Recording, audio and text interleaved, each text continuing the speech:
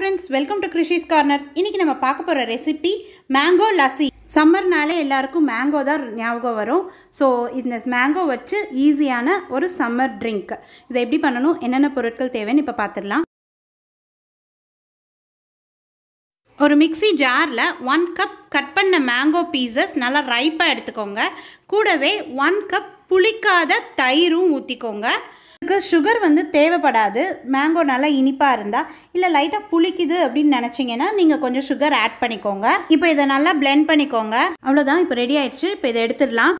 That's it நம்மளோட இந்த mango lassi இப்போ ரெடி ஆயிடுச்சு. நான் மேலே கார்னிஷிங்க்கு கொஞ்சம் ஆல்மண்ட்ஸ் கட் பண்ணி போட்டிருக்கேன். ஸோ கண்டிப்பாக எல்லோரும் இதை ட்ரை பண்ணி பாருங்கள் ட்ரை பண்ணி பார்த்துட்டு உங்களுடைய கமெண்ட்ஸ் எனக்கு சொல்லுங்கள் என்னோட வீடியோக்கு லைக் பண்ணுங்கள் என்னோட சேனலுக்கு சப்ஸ்கிரைப் பண்ணுங்கள் என்னோட ரெசிபீஸை ஃப்ரெண்ட்ஸ் அண்ட் ஃபேமிலிக்கு ஷேர் பண்ணுங்கள் thank you so much and thank you for வாட்சிங்